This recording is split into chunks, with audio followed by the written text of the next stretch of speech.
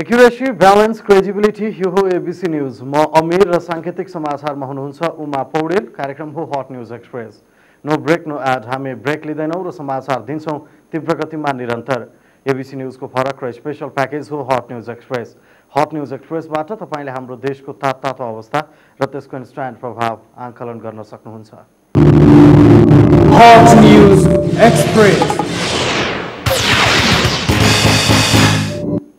सुरु गरौँ हट न्युजबाट नेपाली कङ्ग्रेसका महामन्त्री डाक्टर शशाङ्क कोइरालाले कङ्ग्रेसले जितेको स्थानीय तहमा कर वृद्धि गर्न नदिने बताउनु भएको छ। उहाँले जनतालाई मारमा पर्ने गरी वृद्धि गरिएको कर घटाउनु पर्ने बताउँदै नेपाली कङ्ग्रेसले जितेको स्थानीय तहमा कर वृद्धि गर्न नदिने बताउनु भयो। उहाँले सङ्घीयताको अभ्यास पहिलो भएकाले केही नमिलेको जस्तो देखिए पनि संविधानमै व्यवस्था भएकाले यसको सफल कार्यान्वयनको लागि सबैलाई आग्रह गर्नुभयो। उहाँले सङ्घीयतालाई सफल बनाउन सबैको सहयोग आवश्यक रहेको पनि बताउनु भयो। अर्को प्रसङ्गमा महामन्त्री कोइरालाले पार्टीको महासमिति भेला यस वर्षभित्र सम्पन्न गर्ने बताउनु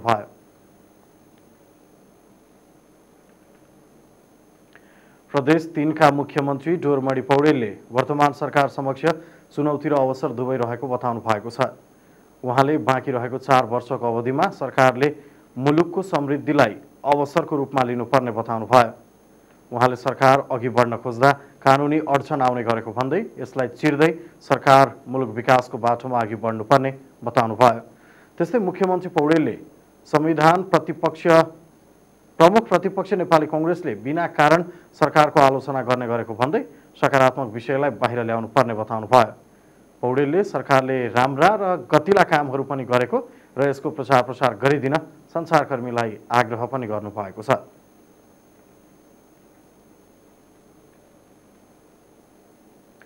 संस्कृति पर्यटन तथा नागरिक उड्डयन मन्त्री रविन्द्र अधिकारीले विकास सम्बन्धी पुरातन सोचाइको कारण मुलुक पछि परेको बताउनु भएको छ।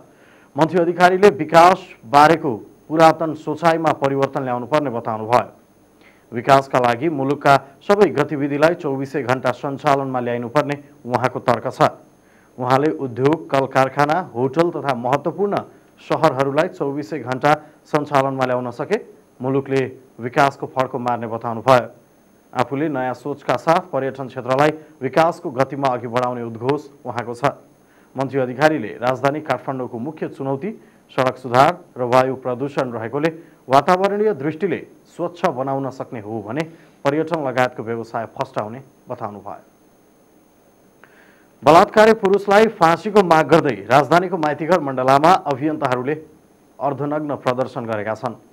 शनिबार महिला अधिकारका अभियन्ताहरूले कालो पेटिकोट लगाएर प्रदर्शनमा उत्रिएपछि प्रहरीले धरपकड गरी नियन्त्रणमा लिएको छ।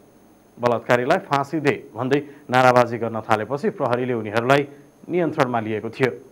प्रदर्शनमा संलग्न पाँच महिला एक पुरुष र एकजना तेस्रो लिङ्गीलाई प्रहरीले नियन्त्रणमा लिएको छ। संविधानमा बलात्कारीलाई फाँसीको व्यवस्था गर।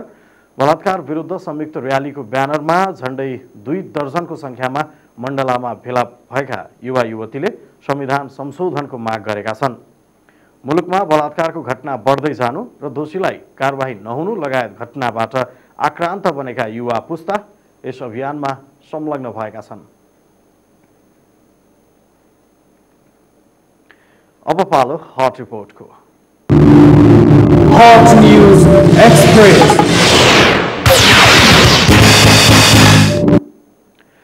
प्रधानमन्त्री केपी शर्मा ओलीले आवश्यक परे संविधान संशोधन गर्न सकिने बताएका छन्।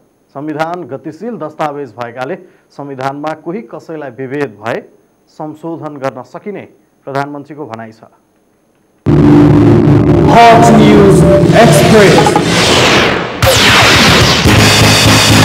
संविधान सभाबाट संविधान घोषणाको लगत्तै जसो तराई केन्द्रित राजनैतिक दलहरूले संविधान पुनर्लेखनको माग समेत गरे। संविधानबाट मधेसीमाथि विभेद गरिएको भन्दै लामो समय आन्दोलन भइरह्यो। आन्दोलनको कारण तीन महिनासम्म तराई मधेसको जनजीवन अस्तव्यस्त रह्यो। तराईको आन्दोलनको बेला पनि प्रधानमन्त्री थिए केपी शर्मा ओली। ओली विरुद्ध तराईका जनता समेत उत्तेजित भएका थिए। तर संविधान जारी भएको एक वर्षपछि तीनै तहको निर्वाचन भयो। तीनै तहको निर्वाचनपछि तराईको माहौल शान्त बन्दै गयो। तर संविधानमा मधेसी जनतालाई विभेद गरिएको भन्दै संशोधनको माग सहितका विरोधका स्वरहरू बेला बेला आउने गरी नै रह्यो। प्रधानमन्त्री हुँदा वा विपक्षी दलको नेता हुँदा ओली तत्काल संविधान संशोधनको मुद्दामा कठोर थिए। अहिले आएर राजनैतिक माहौल बदलिएको छ। प्रधानमन्त्री ओली शनिबार प्रदेश नम्बर दुईको प्रदेश सभालाई सम्बोधन गर्दै संविधान कुनै धर्मशास्त्र नभएर गतिशील दस्तावेज भएकोले आवश्यकता अनुसार संशोधन हुने बताए। यदि विभेद कहीँ गरिएको छ भने भेटियो भने संविधान र कानुन संशोधन गर्ने काम सङ्घीय संसदको हो। त्यसमा प्रस्ताव लाने काम सङ्घीय सरकारको हो। म यहाँहरूलाई भन्दैछु विभेद कहीँ छ भने त्यो मलाई बताउनुहोस् त्यो संशोधन हुन्छ। विभेदको अन्त्य गरिन्छ। आवश्यकता अनुसार संशोधन गर्नुपर्छ। र संशोधन हुन्छ। अब कसै कसैले एकदम हल्ला चलाएछन् कमा पुलिस फेर्दिन भन्यो। कतै हेरफेर हुँदैन भन्यो भनेर जो कहिल्यै भनिएको छैन। यस्तै मधेसका जनताले नागरिकताका मुद्दामा समेत असन्तुष्टि जनाउँदै आएका थिए। नागरिकताका सम्बन्धमा तराई सेन्टिमेन्टल भएको भन्दै ओलीले हरेक नेपालीले नागरिकता पाउने र जन्मसिद्ध बाबु आमाका सन्तानले पनि वंशजका आधारमा नागरिकता पाउने बताए। बाबु वा आमा मध्ये एक नेपाली नागरिक भए उनको सन्तानले पनि नेपाली नागरिकता पाउने ओलीको भनाइ छ। अब नागरिकता जन्मसिद्धका सन्तानले नागरिकता प्राप्त गर्ने कुरा नरोक्नु एउटा। दोस्रो बाबु वा आमा नेपाली नागरिक छ भने बाबुको नागरिकता वा आमाको नागरिकता एउटा भए पुग्छ। एकजना नेपाली नागरिक भए पुग्छ। प्रदेश दुईको प्रदेश सभालाई सम्बोधनपछि संविधान संशोधनको मुद्दा दीर्घकालीन राजनैतिक एजेन्डा बन्न नसक्ने देखिएको छ। त्यसै गरी कतिपय मधेस केन्द्रित दलले ओली नेतृत्वको संघीय सरकार मधेसी जनताको मागप्रति संवेदनशील छैन भन्दै फैलाएको भ्रम पनि तोडिएको छ। एबिसी रिपोर्टर छवि सापकोटा काठमाडौँ।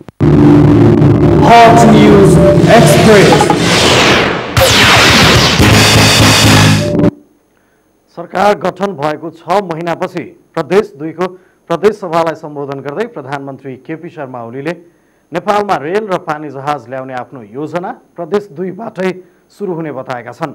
प्रधानमन्त्रीले सबैभन्दा बढी विकास प्रदेश दुईबाटै हुने आश्वासन दिए।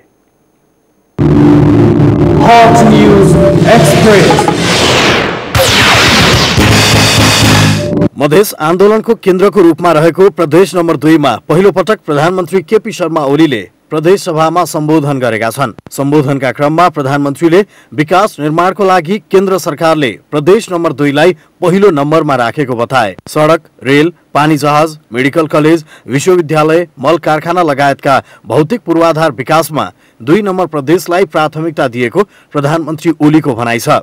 सम्बोधनको क्रममा ओलीले भारतको कोलकाता जाने पानी जहाज र रेल यातायात प्रदेश दुई हुँदै जाने भएकोले प्रदेश दुई देशकै समृद्ध प्रदेश बन्ने दावी गरे।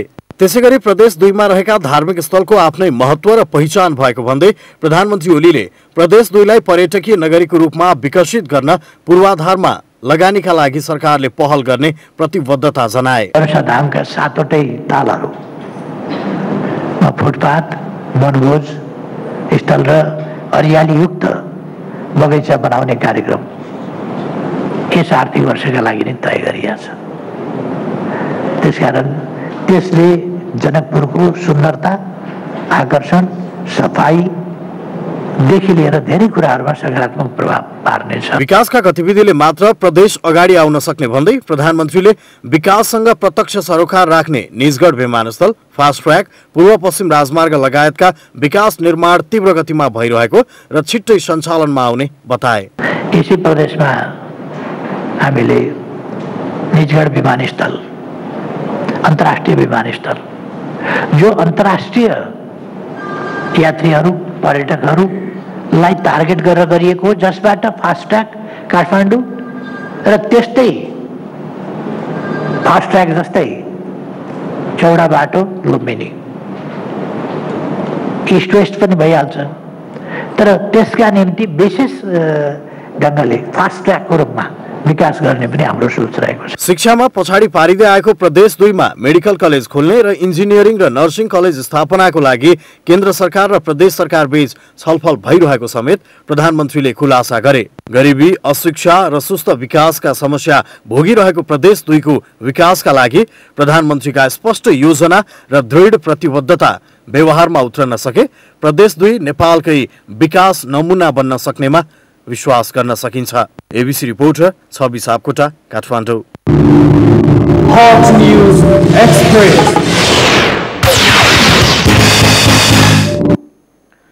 राजधानीबाट बोलाउँदा पनि सुनिने भक्तपुरको रानीकोट जाने बाटो विगत अठार दिनदेखि बन्द हुँदा सम्बन्धित निकायको ध्यान जान सकेको छैन।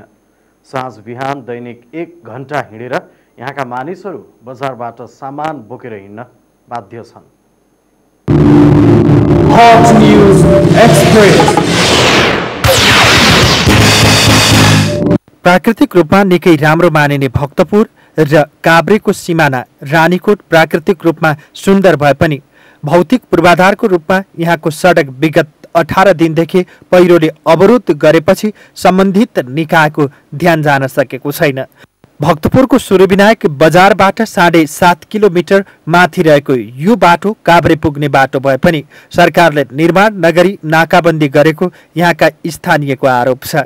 यस सडक खण्डको विभिन्न स्थानमा पहिरो जाँदा सम्बन्धित निकायले आश्वासन मात्रै दिएको स्थानीयको भनाइ छ। सम्बन्धित निकायलाई हामीले धेरै चोटि भन्यौँ।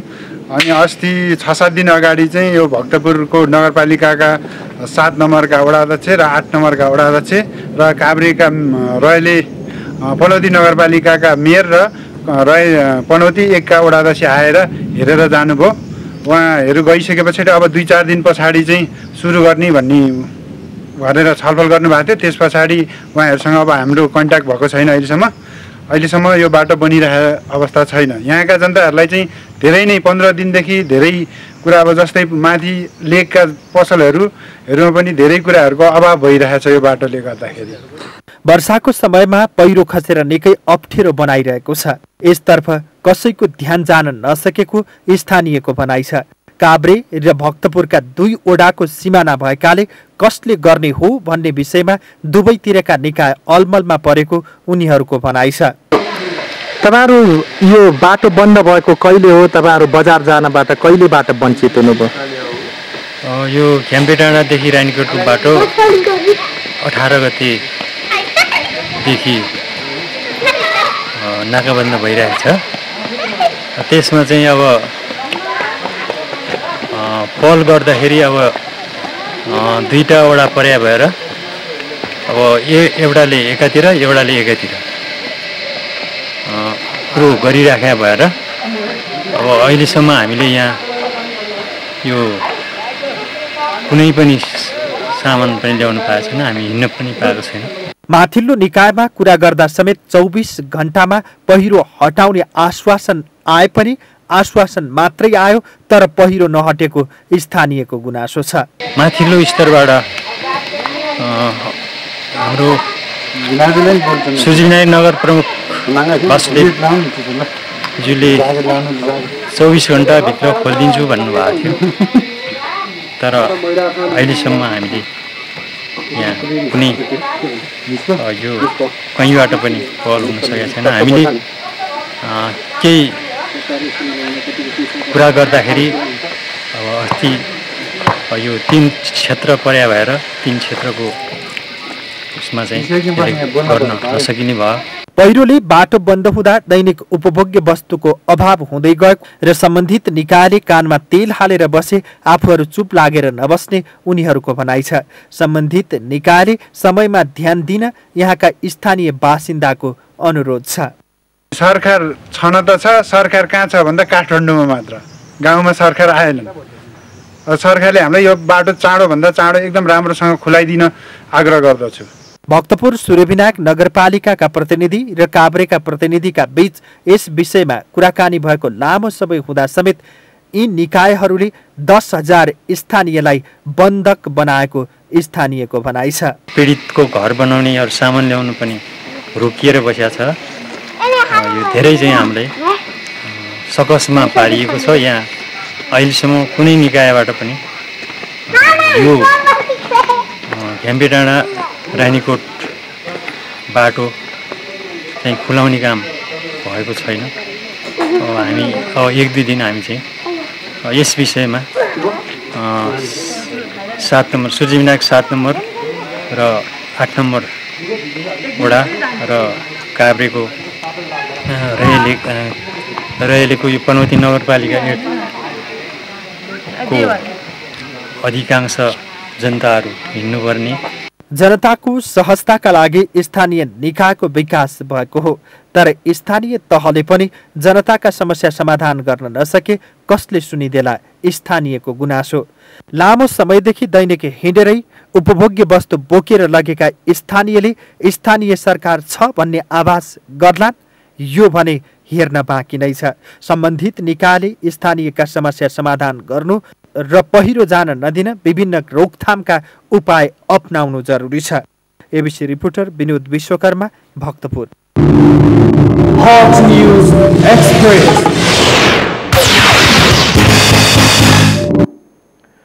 शुक्रबारदेखि अनौपचारिक रूपमा सञ्चालनमा आएको कलङ्की अन्डरपास। औपचारिक रूपमा सञ्चालन हुन अझै केही दिन लाग्ने भएको छ। अन्डरपासमा रङ गर्ने साइनबोर्ड राख्ने लगायतको काम गर्न अझै बाँकी छ.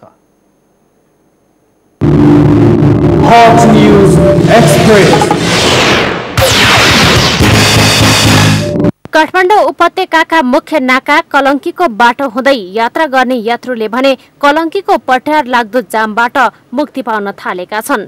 चीन सरकारको पाँच अर्ब रुपियाँ लागतमा चिनिया कम्पनी साङ्घाई कन्स्ट्रक्सनले निर्माण गरिरहेको उक्त कलङ्की अन्डरपास शुक्रबारबाट अनौपचारिक रूपमा सञ्चालनमा आएको छ।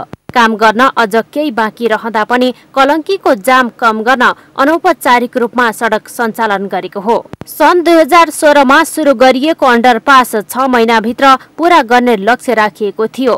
तर कहिले भूकम्प कहिले नाकाबन्दी कहिले विद्युतको कारण देखाउँदै ठेकेदार कम्पनीले समयमा काम नगरेपछि एक वर्ष समय थप गरिएको थियो।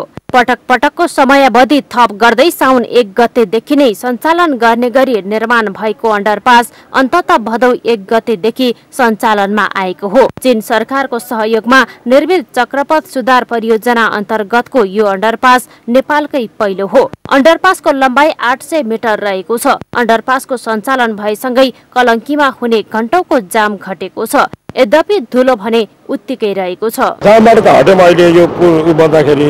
अब धुलोबाट चाहिँ हट्न सकेको छैनौँ अब धुलो चाहिँ धुलो चाहिँ खानु परिरहेछ अब धुलो त रिङ रोड हिँडेपछि धुलो त अवश्य खेपिन्छ होइन? तैपनि पोजिटिभली लिनुपर्छ। अब यसले केही राम्रो होस् दुई चार दिनमै यो सक्सेस होस् त्यही चाहन्छु म चाहिँ। धुलो उडिरहेको छ धुलो उडेको छ हिलो हुन्छ पानी आउँछ घाम लाग्यो त धुलो उडेको छ। यस्तै यस्तै गाह्रो छ हजुर के गर्ने? अन्डरपासले कलङ्कीको जाम नब्बे प्रतिशतले घटाएको छ।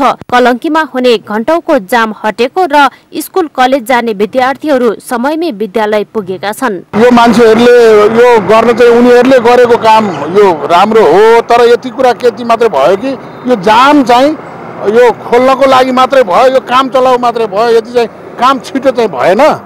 काम छिटो मात्रै भइदिएको भए यस्तो हुने थिएन गभर्मेन्टले गरेको राम्रो काम हो विकासमा त सबैको समर्थन हुन्छ तर एकैचोटि स्थिर विकास होस् भन्ने कुरा हाम्रो धारणा हो। लामो समयको प्रतीक्षापछि नेपालकै पहिलो भूमिगत सडक कलङ्की अन्डरपास अनौपचारिक रूपमा त आयो। यस्तै अन्डरपास अरू नाका र मुख्य चोकलाई लक्षित गरेर बनाउन सके उपत्यकाका ट्राफिक व्यवस्थापनमा साँच्चै सुधार आउने विश्वास गर्न सकिन्छ। क्यामेरामा सिर्जना श्रेष्ठको साथमा एबिसी रिपोर्टर दुर्गा खड्का काठमाडौँ।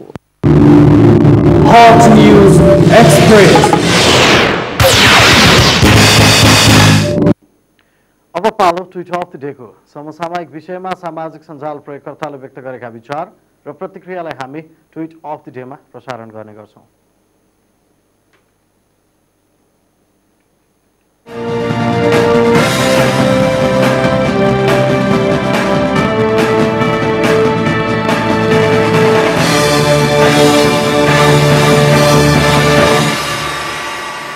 आजको ट्विट अफ द डेमा समसामयिक विषयमा सामाजिक सञ्जाल प्रयोगकर्ताले व्यक्त गरेका विचार र प्रतिक्रिया समेटिएका छन्। प्रदेश दुईमा प्रधानमन्त्रीको विरोध भएको प्रसङ्गमा अविरल यात्रीले लेखेका छन् भारतका प्रधानमन्त्री मोदी आउँदा जय जयकार आफ्नै देशका प्रधानमन्त्री ओली आउँदा विरोध। कस्तो संस्कार हो हाम्रो बुझ्नै नसकिने। विरोध प्रदर्शनको सन्दर्भमा बलराम थापाको पोस्ट यस्तो छ गम्भीर विषय र मागहरू जायज होलान् तर आन्दोलनको नाममा अनुचित तरिकाले प्रदर्शन गर्नु राम्रो होइन। केही यस्ता घटना स्वविवेक थियो कि कुनै संस्था मार्फत थियो। टुटुवालमा तेपेन्द्र कार्कीको पोस्ट यस्तो छ। शुक्रबार एक युवकले नाङ्गै प्रदर्शन गरे। शनिबार युवतीहरूले पेटिकोट लगाएर प्रदर्शन गरे। विरोध प्रदर्शनमा युरोपेली शैली अप्नाइयो। विकास निर्माणमा पनि ती देशकै शैली अप्नाइयोस्। यसै प्रसङ्गमा ट्विटवालमा राजनले यसो लेखेका छन्। अस्ति पुरुष नाङ्गो भएर विरोधमा उत्रिएको के थियो? महिला पनि हामी के कम भन्दै पेटिकोट मात्र लगाएर विरोधमा उत्रिएछन्। नारी पुरुष बराबर भएर होला। र विरोध प्रदर्शनकै प्रसङ्गमा मिलन अधिकारी लेख्छन् माग जायज छ तर तरिका गलत छ। चाहे त्यो हिजोको होस् या आजको।